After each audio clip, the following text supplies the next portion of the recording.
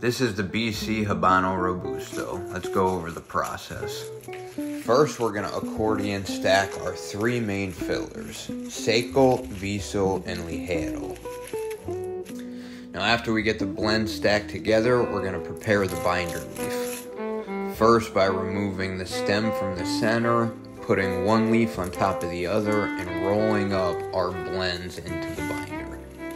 It's important to make sure you have a consistent feel throughout. You're gonna trim it up and then put it into the mold for an hour. Next up is preparing our Habano wrapper leaf trimming up the edges so you have nice clean lines throughout the cigar. Using a little distilled water helps the wrapper come back to life. Then we're going to put our triple cap on. The cap holds everything together, and that, my friends, is how you make a Habano.